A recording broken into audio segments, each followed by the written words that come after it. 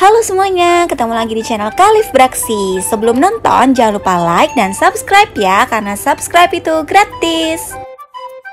Hai semuanya, kali ini Kalif lagi ada di time zone nih. Nah, Kalif lagi naik mobil polisi. Yuk tonton kesurannya di video ini ya.